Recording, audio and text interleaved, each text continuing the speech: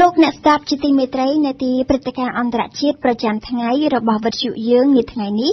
ផ្ដោតសំខាន់ចំពោះការពិចារណារបស់អឺរ៉ុបដែលហាមឃាត់មិនឲ្យទេសចររុស្ស៊ីចូលទៅក្នុងតំបន់អឺរ៉ុបតាមសំណើរបស់អ៊ុយក្រែនជុំវិញសំណុំរឿងនេះយើងមានអន្តរាគមន៍ពីអៀងសុកមិញ you don't do well I'ma make hella sure that I don't become you I have no regrets yeah I'm tired of my trash ជំរាបសួរសុកមិញចា ចាស់ជំរាបសួររចនា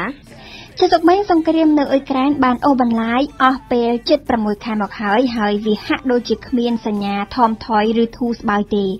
នៅក្នុងបរិបទបែបនេះរដ្ឋាភិបាលទីក្រុងគៀវដែលជាអ្នករងគ្រោះផ្ទាល់និងខ្លាំងជាងគេ បានអំពាវនាវឲ្យសហភាពអឺរ៉ុបបង្កើនទណ្ឌកម្មលើរុស្ស៊ី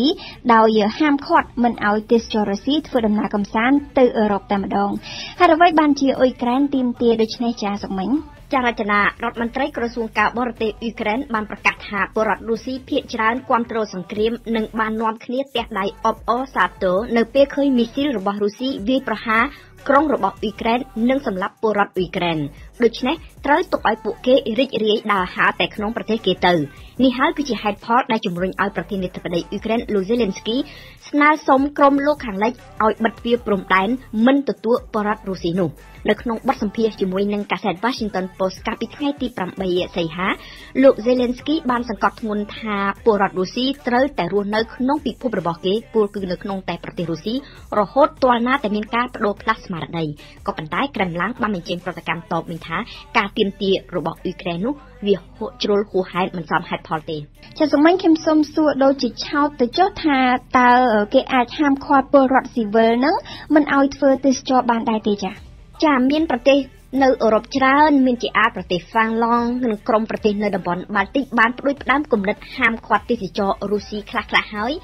គ្រាន់តែថាពួកគេរចនាចង់ឲ្យមានជំហររួមមូលគ្នាថ្នាក់អឺរ៉ុបបន្ថែមទៀតតែប៉ុណ្ណោះហ្វាំងឡង់ដែលមានព្រំដែនជាប់រុស្ស៊ីនិងដែលទទួលពាក្យសុំវីសាចំនួន1000ច្បាប់ក្នុងមួយថ្ងៃមួយថ្ងៃបានសម្រេចចិត្តកាត់បន្ថយការផ្ដល់ទឹកថាការដល់ពលរដ្ឋរុស្ស៊ីចំនួន10%ចាប់ពីថ្ងៃទី1កញ្ញានេះតទៅ តាំងពីអឺរ៉ុបបិទព្រំដែនអាកាសដើម្បីដាក់ទណ្ឌកម្មរុស្ស៊ីដែលចូលឈ្លានពានអ៊ុយក្រែនមកពលរដ្ឋរុស្ស៊ីកាន់តែច្រើនឡើងច្រើនឡើងចរាចនាបាននាំគ្នាសម្រុកទៅធ្វើដំណើរចូលតាមប្រទេសហ្វាំងឡង់ដើម្បីអាចបន្តដំណើរទៅកាន់ប្រទេសផ្សេងផ្សេងទៀតរបស់អឺរ៉ុបតាមរយៈការទទួលបានទឹកថាការអឺរ៉ុប Schengen សម្រាប់លោកស្រីនាយករដ្ឋមន្ត្រីហ្វាំងឡង់វាមិនត្រឹមត្រូវសោះដែលពលរដ្ឋរុស្ស៊ីអាចចូលមកក្នុងទឹកដីអឺរ៉ុបដើរលេងធ្វើទេសចរក្នុងខណៈដែលប្រទេសរុស្ស៊ីបន្តសម្លាប់មនុស្សនៅក្នុងប្រទេសអ៊ុយក្រែននោះ អេស្តូនីក៏យល់ឃើញដូចគ្នាលោកស្រីនាយករដ្ឋមន្ត្រីបានប្រកាសថាទស្សនាអឺរ៉ុបគឺជាឯកសិទ្ធិបានន័យថាជាសិទ្ធិដែលជាប់ទៅនឹងស្ថានភាពខ្លះមិនមែនជារឿងសិទ្ធិមនុស្សទេក៏ប៉ុន្តែអេស្តូនីសោកស្ដាយដែលមិនអាចហាមឃាត់ប្រជាពលរដ្ឋរុស្ស៊ីមិនឲ្យចូលក្នុងប្រទេសរបស់ខ្លួនបានពីព្រោះបុគ្គលទាំងអស់នោះមានទិដ្ឋាការចូលប្រទេសផ្សេងដែលស្ថិតនៅក្នុងចង្កោមអឺរ៉ុបដូចគ្នា។ ត្រង់ចំណុចនេះរចនាខ្ញុំសូមបញ្ជាក់បន្តិចដោយរចនាបានដឹងស្រាប់ហើយទិដ្ឋាការ Schengen អាចអនុញ្ញាតឲ្យទេសចរធ្វើដំណើរក្នុង25ប្រទេសនៅអឺរ៉ុបមានសមាជិកសហភាពអឺរ៉ុបផងមាន Norway, Iceland, Sweden, Swiss និង Liechtenstein ទៀតចំណែកឯប៉ូឡូញវិញ បានរឹតបន្តឹងការផ្ដល់សេវាវីសានេះតាំងតែពីរុស្ស៊ីបើកប្រតិបត្តិការយោធាលើអ៊ុយក្រែនភ្លាមដោយបញ្ឈប់ការផ្ដល់ទិដ្ឋាការទាំងស្រុងដល់ពលរដ្ឋរុស្ស៊ីសម្រាប់ធ្វើទេសចរលើកលែងតែវីសាសម្រាប់មនុស្សធម៌សម្រាប់អ្នកទៅរៀនសូត្រនិងធ្វើការទេរ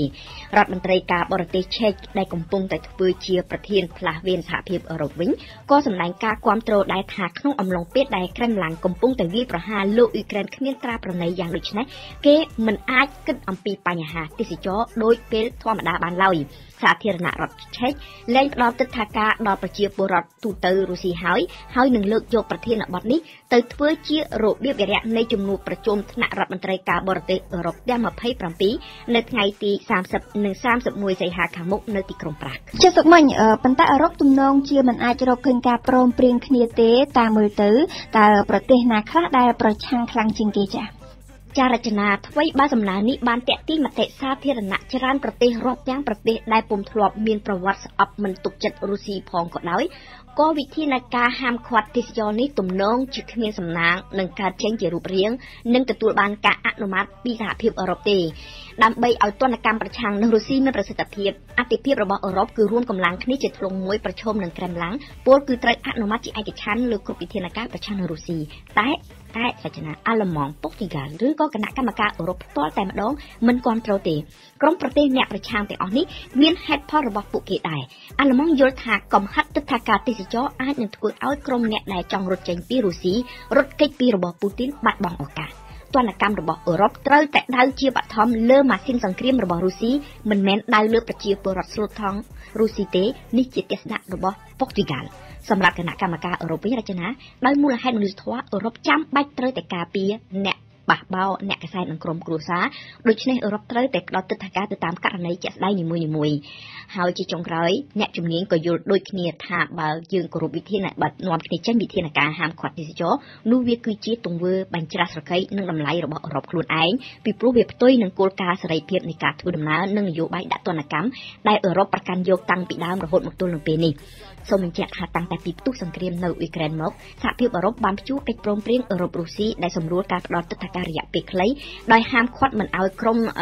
ស្និទ្ធនឹងរបបពូទីនដូចជាប្រតិបត្តិប្រតិភូផ្លូវការសមាជិករដ្ឋាភិបាលអ្នកកាន់លិខិតឆ្លងដែនការទូតព្រមទាំងប្រធានក្រុមហ៊ុនសហគ្រាសធំធំចេញចូលអឺរ៉ុបទេហើយអឺរ៉ុបក៏បានប្រកាសមិនស្វាគមន៍អ្នកទទួលខុសត្រូវរុស្ស៊ីចំនួន1214រូបរាប់ទាំងលោកពូទីនផ្ទាល់ម្នាក់ផងចាអរគុណសុកមិញសម្រាប់បទអន្តរាគមនារីត្រីនេះ Don't wanna sleep in, cause I got something to prove. I gotta take what I hate and finally make a move. I think of you and all the shit you don't do. Well I'm a